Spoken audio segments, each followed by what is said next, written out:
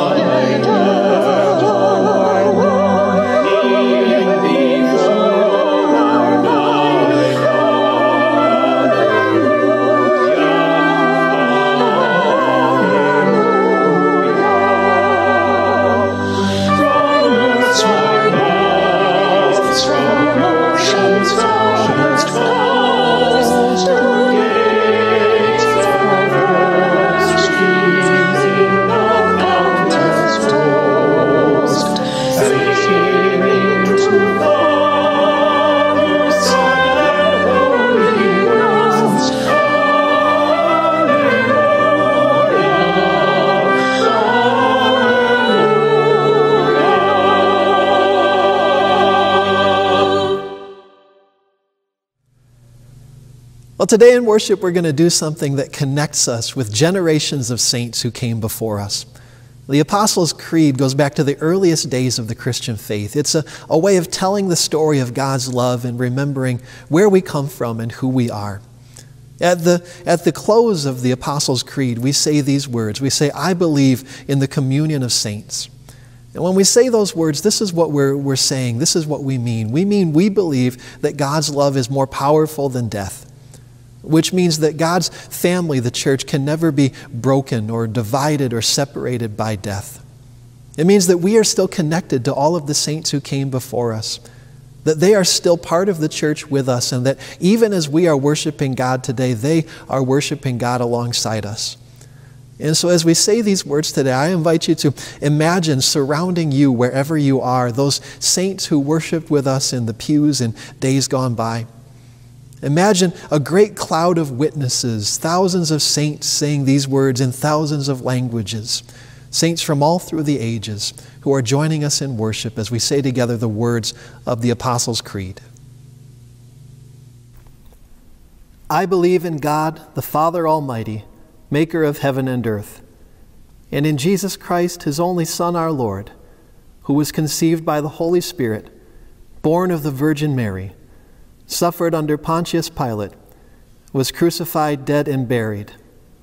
The third day he rose from the dead he ascended into heaven and sitteth at the right hand of God the Father Almighty. From thence he shall come to judge the quick and the dead. I believe in the Holy Spirit, the holy Catholic Church, the communion of saints, the forgiveness of sins, the resurrection of the body, and the life everlasting. Amen. Well, now I want to say good morning to the kids who are worshiping with us today. Hello, kids. We are so glad that you are worshiping with your church family today, with all of these people who love you. I love you. God loves you. We miss you. We hope that you're doing well and enjoying all of the fall things that are happening right now. All right, come on up close to the screen because it's time for another story with Pastor Christy. Hi, friends. It's Pastor Christy. I'm sorry I can't be with you this week. I miss you so much. My friend Reverend Mary has a special story for us today. I hope you enjoy it. I love you, and Jesus loves you too as we just experienced in our worship service about All Saints Sunday, all those saints that have gone on before us, those who have taught us in so many ways, showed us how to love and um, all those wonderful things, show us how to do good and be kind. So I thought I would read this book to you, and it's called A Little Blue Bottle. It's written by Jennifer Grant and it's illustrated by Jillian Whiting. It's published by Church Publishing, and this is a brand new book. It just came out this year in 2020. Let's begin. Mrs. Wednesday died last Thursday, or maybe the week before. All I know is ever since then, nothing feels the same anymore. They loaded Mrs. Wednesday's furniture onto a truck and they drove it far away. Her daughter picked up Muriel, the ginger cat. Now Muriel lives some other place. Muriel used to hide under Mrs. Wednesday's bed until I'd come and find her. She purred loud and low from underneath the bedspread. I remember when Mr. Wednesday died. My mama says to me, It was before you were even born. Muriel was his cat, I tell her. Mrs. Wednesday told me that. They were married 60 years, Mama says. She was very sad when he died. I feel sad, I tell her.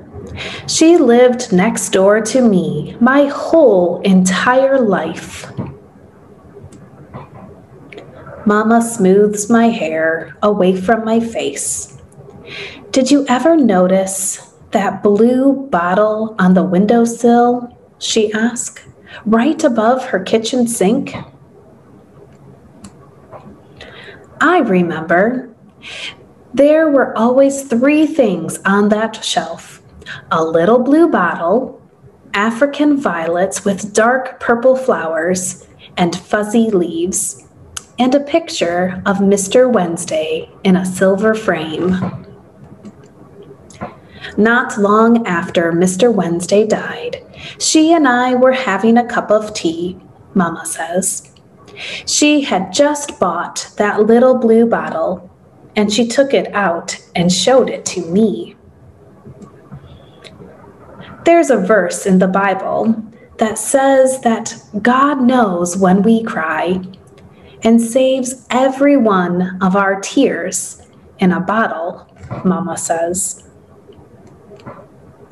Sometimes, over the years, she told me that when she was missing Mr. Wednesday, or just felt lonely, or was having a hard day, she held that little blue bottle and imagined God was collecting her tears in it, Mama says. I try to imagine my tears falling into a blue bottle and God saving them, every single one. And I wonder if it could be true. Mama, sit closer, I say, reaching for her hand and as she slides over close and puts her arm around me, she doesn't say anything at all. Mrs. Wednesday died last Thursday, or maybe the week before. All I know is ever since then, nothing feels the same anymore. Psalm 56, verse 8 says, You keep track of all my sorrows. You have collected all my tears in your bottle. You have recorded each one in your book. I wonder what it might look like if you are sad or you're thinking of someone you've had to say goodbye to if you had a little bottle, maybe it could be a bottle like this one that you could put your tears in. You know, a friend of mine once told me that tears are liquid love. It's our love that pours out of our eyes and helps us sometimes to feel a little better and when we bottle those all up, we know that God is holding us dear and close and holds us when we are sad. And it's okay to be sad too when we say goodbye. Let's pray. Dear gracious God, hold us close. Let our tears flow for the love to be coming from us. We miss our friends, we miss our family. Hold us close and let us never forget the memories of our loved ones. In your Son's name we pray. Amen. Well, now we've come to that time in our worship when we approach God in a moment of prayer. And today, as we gather in prayer, there are so many things that we could be praying about. And today I'm praying for those people in our church family who have lost loved ones in the last 12 months. And today I'm also praying for three congregations not far from us who are, are grieving the loss of their pastor this morning. As I'm filming this today, we've just learned that, that our friend, our colleague, Pastor Kay Lytelt, pastor of Otisville United Methodist Church, West Deerfield United Methodist Church, and Fostoria United Methodist Church, has passed away. She died of complications related to COVID. We pray for the people in those congregations who are, are grieving her death and for her children and grandchildren, for her family and friends. We pray for the people who have been affected by the close to a quarter million lives that have been lost because of the coronavirus in the last few months, the more than a million lives lost around the world. We pray for peace in our communities and in this nation as as an election, a national presidential election draws near. Maybe today you want to pray for one or all of these things. Maybe today you're carrying something on your heart that's, that's personal to you. In this moment, as Ryan Pratt leads us, I invite you to have whatever conversation you need to have with God this morning, to hear whatever words you need to hear from God this morning, and to receive peace in such a difficult moment, the peace that only God's Spirit can give. Good morning, Court Street family. Let's pray together. Dear God, we come before you today in prayer. God, with the election coming up, we pray again that you would work for the good of the nation, and we pray that you would bring unity with this election and help us all to work together for the greater good. We pray that you would keep everyone involved in local, state, and federal elections healthy and safe, and keep everyone who is voting safe as well. We pray that you would help us to remember the many saints that have come and blessed our lives and spread your word during their lives, God. We thank you for the wonderful influence so many saints have had in their churches and communities. God, we pray this morning that you would show us the ways that you have been walking by us. Remind us and show us the times you have helped us get through, and help us remember that we're not alone, and we never will be when we have you in our heart. We pray today for an overwhelming sense of peace, God. Help us feel your touch of serenity that you provide through your Holy Spirit, and we pray that this peace would remain with us in this pandemic season. God, we thank you for the many blessings that you've given us and the many saints that you have worked through in their time. We pray that one day you would have us meet these saints with you in heaven in the words that Jesus taught us. Our Father, who art in heaven, hallowed be thy name. Thy kingdom come, thy will be done, on earth as it is in heaven. Give us this day our daily bread, and forgive us our trespasses, as we forgive those who trespass against us. Lead us not into temptation, but deliver us from evil. For thine is the kingdom, and the power, and the glory forever and ever. Amen. Well, a lot of things have changed in the last seven months, but we believe the mission of the church remains the same. We believe that God has called us to create a world with more peace and more hope by loving one another as Jesus loves us. One of the ways that we do that at Court Street United Methodist Church is by partnering with ministries and organizations in our community that are doing God's work among our, our neighbors.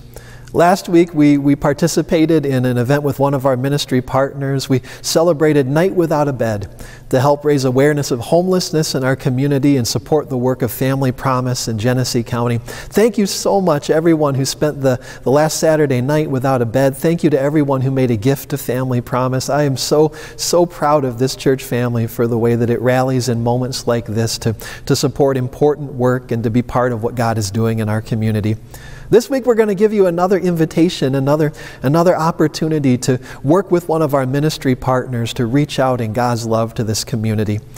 Now, we're approaching Thanksgiving, and every year at Thanksgiving, our friends at Crossover Downtown Outreach Ministry make sure that nobody in our neighborhood, nobody in our community celebrates Thanksgiving without turkey and all of the trimmings on the table. They want to make sure that Thanksgiving is a moment of feasting and celebration that everyone in our community can take part in. And so they, they gather lots of Thanksgiving foods in the, in the days and the weeks before Thanksgiving. And they've invited us to be a part of this. They've invited us to help them by, by donating and dropping off some of the foods that, that they need the most right now. And so we have set up three dates, three times November 10th, November 12th, and November 16th. And you're going to see in just a second now, you're seeing the days and the times of these drop offs on your screen. We've set up three opportunities for you to swing by the church, pull through the church parking lot, and drop off some of the foods that Crossover could use to make sure that families are able to fully celebrate Thanksgiving this year. And they're looking this year, they're looking for canned green beans, for canned corn, for, for stuffing mixes, and for gravy mixes and cake mixes. They're looking for, for cans of cranberry sauce. They don't want anything in glass jars, but if it's something that you find on the Thanksgiving table and it, it comes in a can, then they would love they would love our help in rounding up those items this year. So as you're doing your shopping in the next couple weeks, please uh, please consider our neighbors. Think of, of the work that Crossover Downtown Outreach Ministry is doing and maybe pick up a few cans and, and swing by. It'll also give you a chance to stop by 225 West Court Street and, and to interact with some members of your church family. And these days, that's always, that's always a great gift and a blessing. Thank you to our friends at Crossover Downtown Outreach Ministry for doing such a good job of, of making sure that celebrations happen all around our community. Thank you, Court Street United Methodist Church, for supporting our ministry partners in the work that they do. And thank you, thank you for doing the work that you do with the gifts that God has given you right where you are each and every day. Well, now we turn to a, a word from Scripture. This week we've invited somebody who's going to be very familiar to the youngest members of our church family, Chanel Simpson, to share with us a word, a reading from the Gospel of John. Listen now for God's voice as Chanel shares with us these words from Jesus. Hi guys, today's scripture reading is John chapter 14, verses 1 through 3 and verse 27. Do not let your hearts be troubled. Believe in God, believe also in me. In my Father's house there are many dwelling places. If it were not so, would I have told you that I go to prepare a place for you? And if I go and I prepare a place for you, I will come again and will take you take you to myself, so that where I am, there will also be you. And then verse 27 reads, Peace I leave with you, my peace I give to you. I do not give to you as the world gives. Do not let your hearts be troubled, and do not let them be afraid. Thank you. Have a good Sunday. Well, a couple weeks ago, on a beautiful, sunny fall morning, I found myself at my office in the parsonage getting ready for a graveside service for our friend Ron Krupenik. Now, the family had already had a, celebration of Ron's life at the funeral home, and now everybody who knew and loved Ron was getting ready to gather at Evergreen Cemetery for a graveside service of interment. As I was getting ready that morning, I was feeling frustrated because it just didn't feel like the service was coming together. It felt like something was just a little bit off, and I couldn't figure out exactly what it was. Usually, these graveside services are, are pretty simple. You, stand by the side of the grave, we say a few prayers, you say a few words about the person who's being laid to rest, you read a passage or two from Scripture. At these graveside services, I almost always read the same passage or two from Scripture. I love to read those, those passages from Scripture that talk about planting seeds in the earth. You know, both Jesus and the Apostle Paul, as they talk about death and resurrection, give us the image of a seed being planted in the ground. Jesus, as he was teaching his disciples and teaching the crowd, said, Listen, understand, people are like seeds. If you want to bear fruit, if you want to receive the new, the eternal life that God wants to give you, then we have to be planted in the earth like a seed. Only when we've been planted in the earth, only when we have died to this world, can God work that transformation in us. People are like seeds, Jesus says. And the Apostle Paul also, as he's writing in his letters, says, Listen, understand, people are like seeds. We plant these physical bodies in the ground. And then, far from where any human eye can see, God works an amazing transformation. God does what only God can do. And then, when God has done what God does, suddenly one day these physical bodies will spring up again from the earth like, like flowers in springtime, only we will see that, that they have been transformed into spiritual bodies, into something, into something completely new by the power of God's resurrecting love. People are like seeds, Paul says. People are like seeds, Jesus says. Almost always, when we gather at the side of the grave in one of these moments of interment, I read either the words of Jesus or the words of Paul about planting seeds. But as I was getting ready a couple weeks ago for Ron Krupenik's graveside service, those readings just didn't feel right. As I was working on the service, I realized that the thing that felt off about the service was, was the reading that I had chosen. Because These readings are all about planting seeds and gardening and farming, but that really wasn't Ron's thing. Ron wasn't a gardener, he wasn't a farmer, he wasn't a planter of seeds. What Ron was, was a builder. As we were getting ready for the, the service, for the celebration of Ron's life, as I was talking to his children and learning about him, they, they talked to me about how Ron had built the home where they were raised. And they told me that Ron didn't just build the house and then leave it as it was. They said that Ron spent decades working on that house, tweaking things, adding room after room. They said the house was always a work in progress. There was always a, a hole in this wall over here or a board leaning against that wall over there. They said Ron, Ron made that house the work of a lifetime. He never stopped tinkering with it. And as they were, they were telling me about that, I realized that this, this image of Ron building this house, working on it for decades, adding room after room after room, reminded me of a passage of Scripture. In the Gospel of John, we have the story of a conversation between Jesus and the disciples. Now, the story goes that, that Jesus knew his ministry here on earth was drawing to a close. He knew that he was about to be betrayed and abandoned. He was about to be crucified and laid in the tomb. And Jesus knew that, that all of these things would be difficult and scary for his disciples, and so he decided that he was going to prepare them for what they were about to live through. So he gathered them, and they sat down at a table and shared a meal together. And as they were there at the table, Jesus began to, to tell them that their lives were about to change in a dramatic way. He said, Listen, my ministry, my time on earth is coming to a close, Jesus said. Soon I'm going to go to the house of my Father. And as Jesus is talking to the disciples, as he's sharing with them all of the things that are about to happen, he can see that the disciples begin to, to hyperventilate. He can see that they begin to feel anxious, that they start to panic. And the disciples say to Jesus, No, you can't do that, Jesus. You've got to stay with us. What will we ever do without you? Take us with you, Jesus, the disciples say. And Jesus sees the fear that's in their hearts in that moment.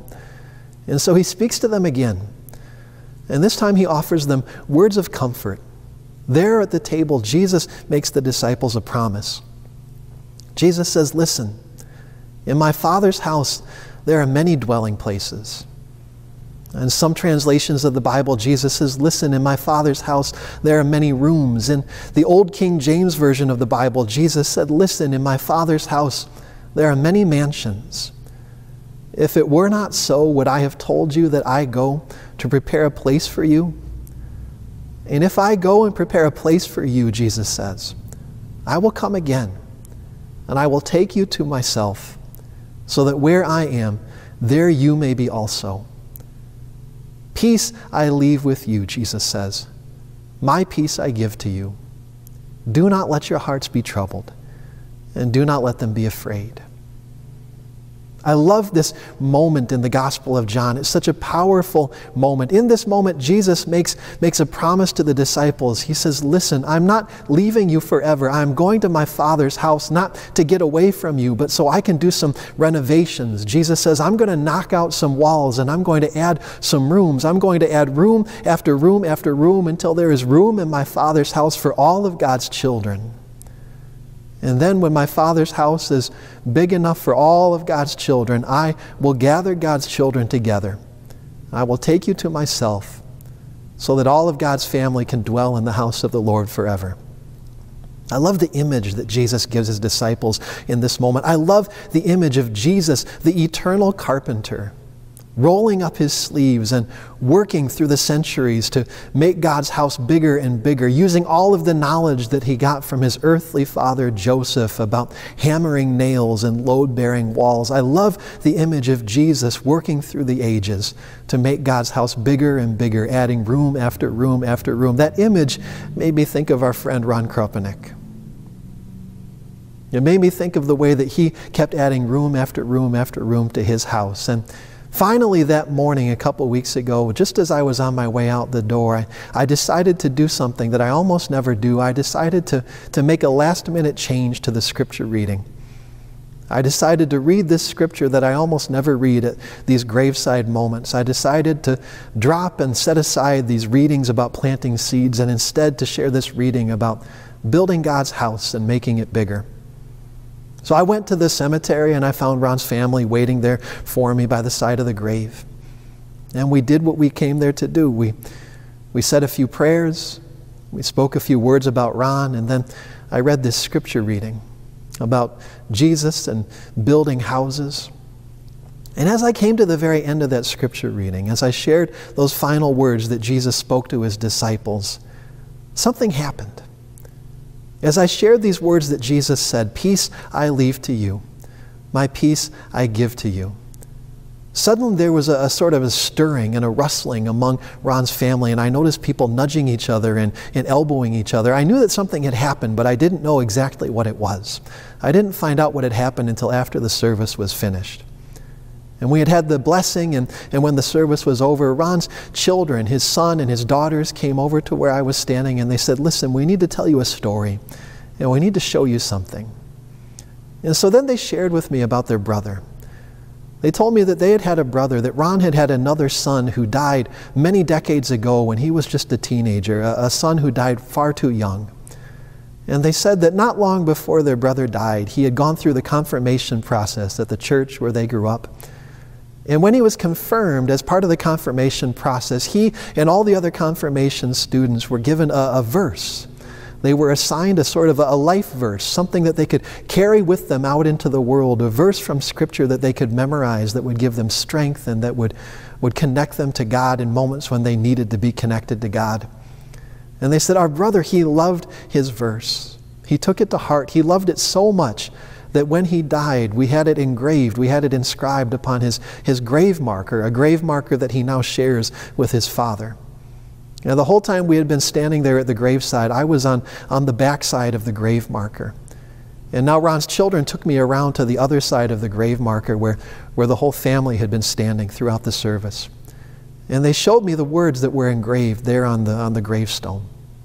As I looked down at that gravestone, I, I saw the, the very words that I had just spoken Peace I leave with you, my peace I give to you. I got chills as I stood there in front of the grave looking at, at those words, those words that I had chosen at the last minute, the words that I hardly ever read at these graveside services. In that moment, it felt to Ron's children like a sign. It felt to me like a sign. It felt like a sign that God was with us, it felt like a sign that even in moments of death, we can trust in Jesus. It felt like a sign that death is not the end of us, that God's love is more powerful than death, and one day the people we love will be returned to us in the house of the Lord. It felt like a sign in a moment when we will take all of the signs of God's presence that we can get. In just a moment, we're going to do the thing that we always do on All Saints Sunday. We're going to read a list of the names of those members of our church family who have died in the last 12 months. As you hear these names, as you see these faces, I hope you know that it is okay for you to mourn. It's okay for you to grieve. It's okay for you to feel sad. Now, these people were, were our church family. They worshiped with us. They sang in the choir with us. They came to the Lord's table with us. They taught our Sunday school classes. They inspired us. They shaped our faith. They loved us, and we loved them. And it is okay to grieve today, and it is okay to mourn. And as you hear these names, and as you see these faces, I also hope that you will remember and hold in your heart the words of the Apostle Paul who reminded us that even as we mourn, we do not mourn as those who have no hope. We mourn as those who have been given a great hope. We mourn as those who believe in the promise Jesus made to us that for every one of these saints, there is a room, there is a place in the house of the Lord, just as there is a room for you, just as there is a place for me. So do not let your hearts be troubled, and do not let them be afraid.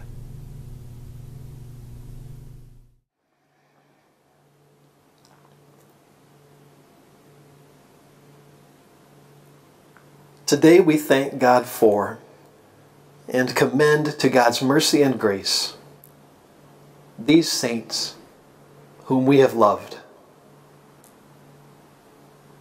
Andy Bentley.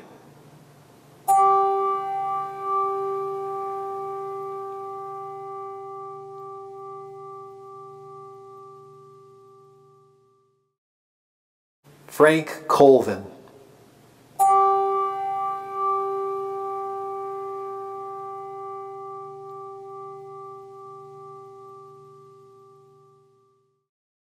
Ron Krupenik.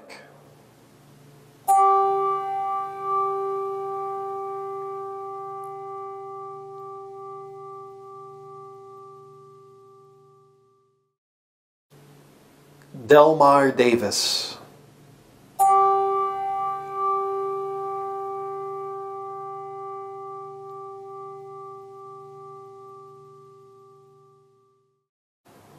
Kathy Dick.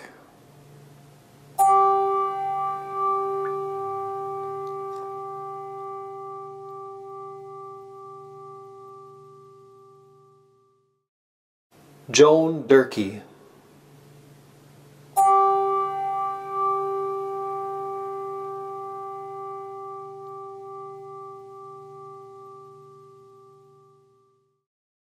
David Hager.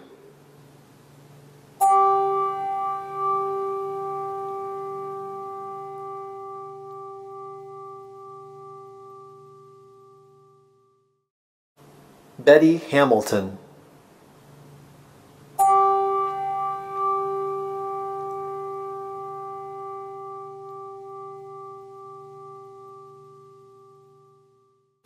Virginia Johnson.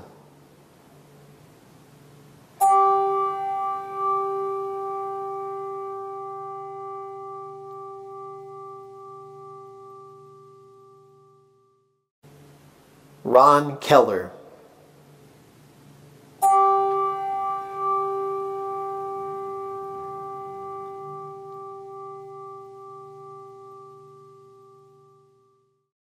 Shirley Link.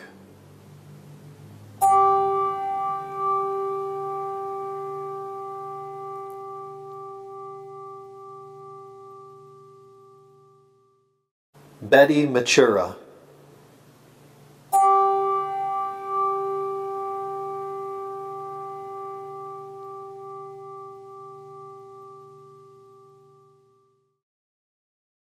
Mike Orm.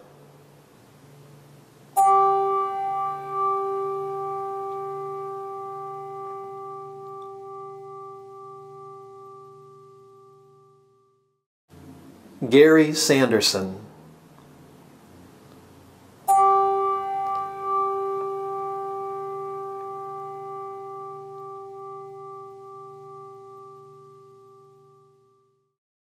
Larry Wright.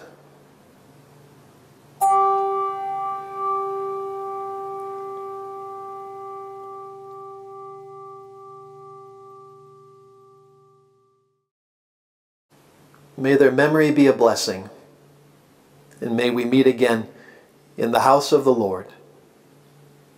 Amen.